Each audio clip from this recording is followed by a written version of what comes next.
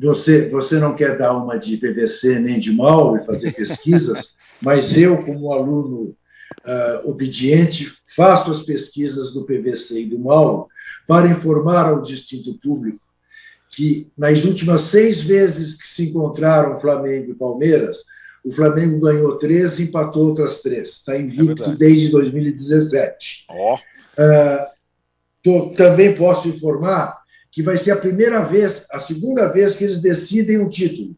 A primeira foi numa recopa dessas. Mercosul.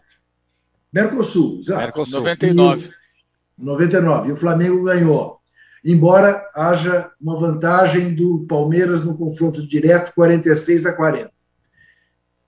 Eu discordo só numa coisa, Arnaldo. Eu acho que não é que parece, eu acho que o Rogério já deu a cara que queria dar ao Flamengo, tanto contra o Bangu como contra o Madureira, sendo que com uma evolução evidente do ponto de vista da eficácia de um jogo para o outro, sendo o Madureira um adversário superior ao Bangu, estava invicto.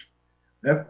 Tomou de cinco, poderia ter tomado de sete, não fosse duas bolas na trave no mesmo lance, não fosse um gol mal anulado do, por impedimento que não houve no que seria um 1 a 0. Mas para mim ficou muito claro que Flamengo o Rogério Ceni quer. Como está muito claro, e eu lamento, o Palmeiras que o Abel Ferreira quer. Certo. Daí, eu que não sou nem Palmeiras nem Flamengo, dizer sem nenhum nenhum problema torcerei pela prevalência do futebol bonito.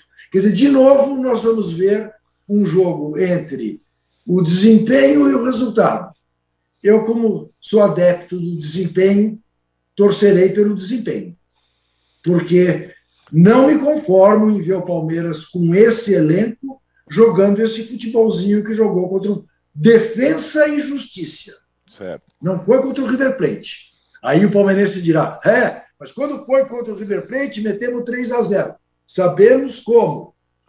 Sabemos. Não estou minimizando aquela vitória, mas aquela foi uma vitória circunstancial. O embate River Plate-Palmeiras deu-se nos 2 a 0 aqui, que por dessas coisas do futebol não foi 3 a 0 e eliminou uh, o Palmeiras. Então, eu, eu, eu não aceito. E reconheço que de tudo que o Abel Ferreira fez no Palmeiras, as duas partidas contra o Grêmio, nas finais da Copa do Brasil, foram convincentes. Mais convincentes até do que o título que o, que o Flamengo ganhou no Brasileirão, perdendo para o São Paulo, dependendo uh, do empate do Corinthians. Mas, tirante esses dois jogos contra o Grêmio, não, é inaceitável que o Palmeiras jogue desse jeito. Acho inaceitável. Qual?